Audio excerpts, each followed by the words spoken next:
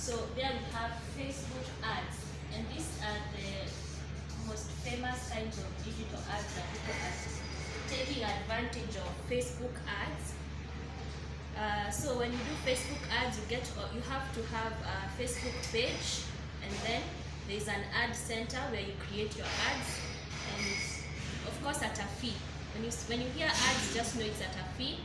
Uh, but at for Facebook, it's good for small businesses. You can take advantage of it, even from as low as 500 a day.